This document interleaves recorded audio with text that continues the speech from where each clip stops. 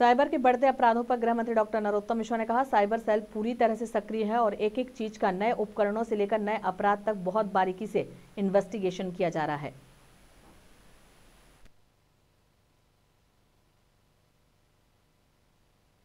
अपराध में हमारे यहाँ साइबर सेल पूरी तरह से सक्रिय है और एक एक चीज़ का नए उपकरणों से लेकर नए अपराध तक पर बहुत बारीकी से इन्वेस्टिगेशन मध्य प्रदेश में होता है।